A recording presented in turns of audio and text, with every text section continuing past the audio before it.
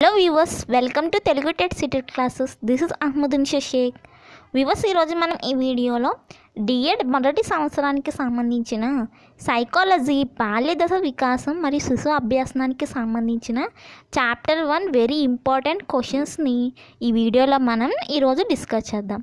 మనకి chapter one చూసుకున్నట్లయితే D.Ed మొదటి సంవత్సరం యొక్క చాప్టర్ వన్ అధ్యాయం ఒకటి మనం చూసినట్లయితే బాల్యదశ అనమాట మనకి చాప్టర్ వన్. ఈ బాల్యదశకు సంబంధించిన ముఖ్యమైన ప్రశ్నలు మనం ఈ వీడియోలో డిస్కస్ చేద్దాం. అయితే ఈ ప్రశ్నలు మనకి చాలా ఇంపార్టెంట్. మీకు ఎగ్జామ్లో ఈ ప్రశ్నల మీదే మీకు క్వశ్చన్ పేపర్ అనేది ఉంటుందన్నమాట. వెరీ వెరీ ఇంపార్టెంట్ అనమాట ఈ ప్రశ్నలు. అయితే మనకి మొదటి ప్రశ్న వచ్చేసరికి బాల్యదశ నిర్మాణంపై ప్రభావం చూపే వివిధ అంశాలు పేర్కొని వివరించ యొక్క నిర్మాణం పైన ప్రభావం చూపించే వివిధ అంశాలు ఏవైతే ఉన్నాయో ఆ అంశాలను పేర్కొని వాటిని వివరించమంటున్నారు.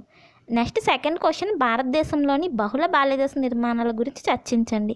మన భారతదేశంలో ఉండే బహుళ బాల్యదశల నిర్మాణాల గురించి చర్చించమంటున్నారు.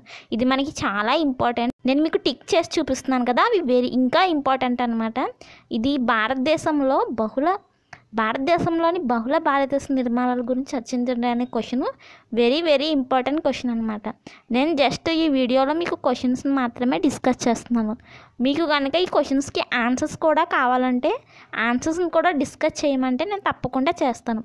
ఎవరైనా డిఏ స్టూడెంట్స్ ఉంటే మీకు ఆన్సర్స్ కూడా ఈ క్వశ్చన్స్కి కావాలంటే నాకు కామెంట్ చేసి చెప్పండి. నేను తప్పకుండా ఆన్సర్స్ని కూడా నేను మీకు వేరే వీడియోలో ఇంకో వీడియో నెక్స్ట్ వీడియోలో వీటి యొక్క ఆన్సర్స్ని కూడా డిస్కస్ చేస్తాను. థర్డ్ క్వశ్చన్ ఏంటంటే ప్రపంచీకరణ నేపథ్యంలో మీ ప్రాంతంలోని పిల్లల బాల్య నిర్మాణంలోని ప్రతికూల అంశాలను పేర్కొని వాటిని అధిగమించడానికి మీరు ఉపాధ్యాయుడిగా ఎలాంటి చర్యలు చేపడతారో తెలపండి. ఇటువంటి జనరల్ నాలెడ్జ్ క్వశ్చన్స్ కూడా మనకి డిఎడ్ పేపర్లో అడుగుతూ ఉంటారు. అయితే ప్రజెంట్ ఉన్న ప్ర ప్రపంచీకరణ అంటే మన వరల్డ్ అనేది చాలా డెవలప్ జరుగుతుంది కదా. అయితే డెవలప్మెంట్ అనేది జరుగుతుంది ఈ డెవలప్మెంట్లో భాగంగా బాల్య బాల్య నిర్మాణంలోని పిల్లల బాల్య నిర్మాణంలో ఎటువంటి అంశాలను తీసుకురావాలి? ఒక ఉపాధ్యాయుడిగా మీరు ఎటువంటి చర్యలు చేపడతారని మనకు థర్డ్ క్వశ్చన్ అనేది అడిగారు. ఫోర్త్ క్వశ్చన్ ఏంటంటే ఎందుకంటే బాల కార్మిక వ్యవస్థ పిల్లలను బాల్యానికి ఎలా దూరం చేస్తుందో వివరించి బాల కార్మిక వ్యవస్థ నిర్మూలనకు ఏ ఏ ఏ చర్యలు చేపట్టాలో తెలపండి. ఈ క్వశ్చన్ కూడా వెరీ వెరీ ఇంపార్టెంట్ క్వశ్చన్ అనమాట ప్రజెంట్ మనకి బాల కార్మిక వ్యవస్థ అనేది చైల్డ్ లేబర్ అనేది చాలా పెరిగిపోతుంది కదా. అయితే ఈ బాల కార్మిక వ్యవస్థని పిల్లలకి బాల్యానికి ఏ విధంగా దూరం చేయాలి?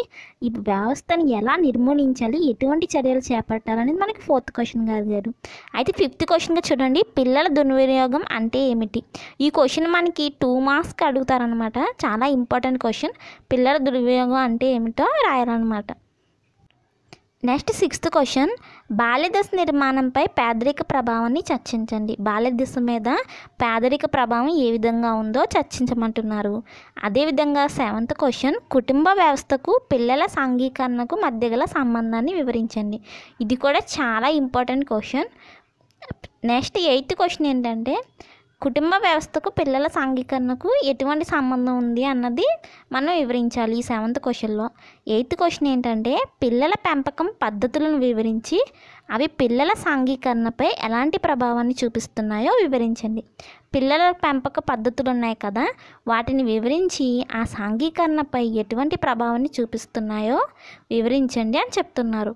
నెక్స్ట్ నైన్త్ క్వశ్చన్ ఏంటంటే పాఠశాల సంస్కృతి అంటే ఏమిటో తెలిపి పాఠశాల సంస్కృతి ఏ విధంగా పిల్లల సాంఘీకరణకు తోడ్పడుతుందో వివరించండి అని మనకి నైన్త్ క్వశ్చన్గా అడగడం జరిగింది. ఈ విధంగా ఇవన్నీ ఇంపార్టెంట్ క్వశ్చన్స్ అనమాట very very important questions.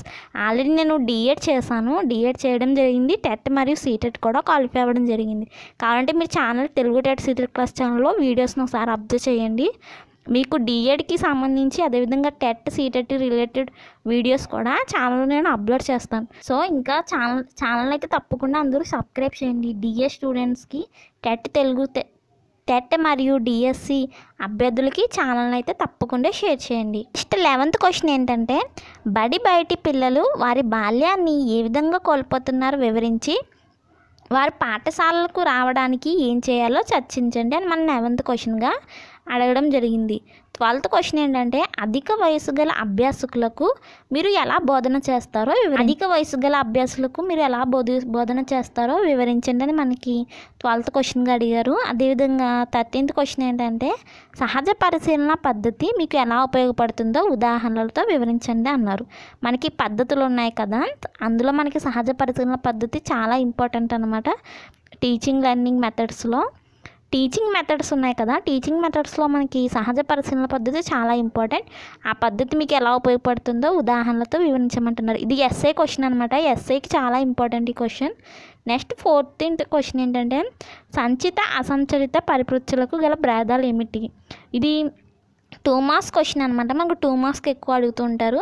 Next fifteenth question ఏంటంటే తల్లిదండ్రులు వారి పిల్లల బాల్య నిర్మాణానికి ఎలా తోడ్పడు ఎలా తోడ్పడుతున్నారో తెలుసుకోవడానికి ఒక ప్రశ్నావళిని తయారు చేయండి. అంటే పిల్లల బాల్య నిర్మాణంలో తల్లిదండ్రుల పాత్ర ఏ విధంగా ఉందో మనం ఒక ప్రశ్నావళిని తయారు చేయాలన్నమాట. ఇటువంటి క్వశ్చన్స్ కూడా మనకి ఎక్కువ అడుగుతుంటారు.